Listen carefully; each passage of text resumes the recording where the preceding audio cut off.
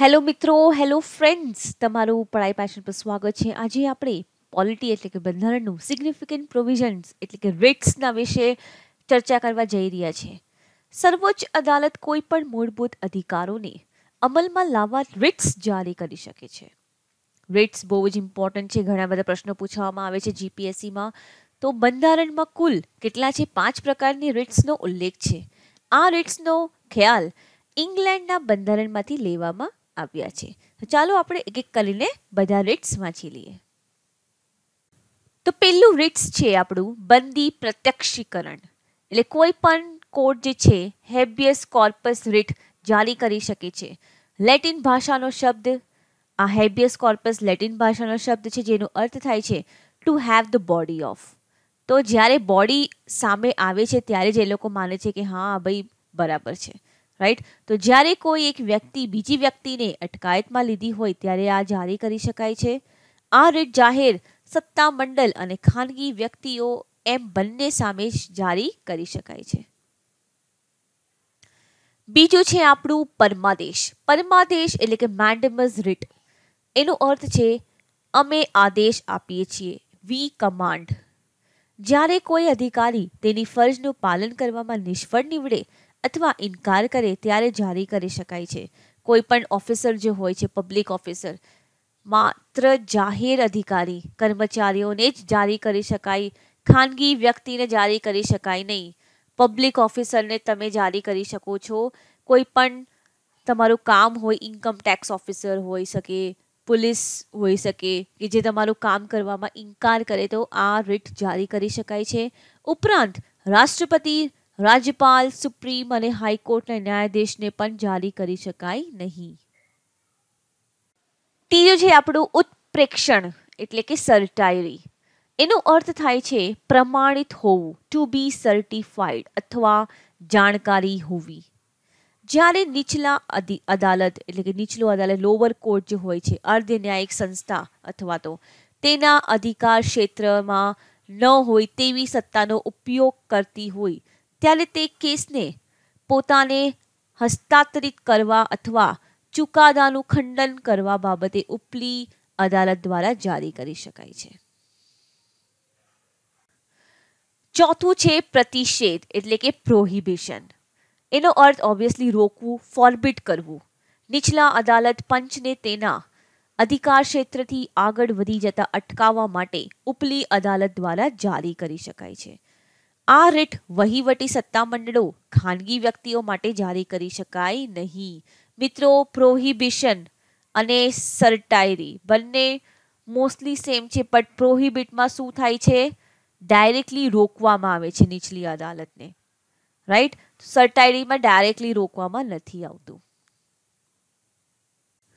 પાંચમું છે આપણું અધિકાર પૃચ્છા એટલે કે કો વોરંટો એનો અર્થ થાય છે કયા અધિકાર, સત્તા અથવા વોરંટ દ્વારા બાય વોટ વોરંટ યા ઓથોરિટી જ્યારે કોઈ પદ, અધિકાર તેના વૈધાનિક અધિકાર વગર કાર્ય કરતો હોય ત્યારે ન્યાયાલય આદેશ આપી શકે છે. આ રીટ ફક્ત એવા જાહેર ઓદા માટે જારી કરી શકાય છે જે કાયદા અથવા તો બંધારણ દ્વારા કાયમી ધોરણે તૈયાર કરાયેલા હોય. મંત્રીઓના ઓદા કે ખાનગી ઓદા માટે થઈ શકે નહીં.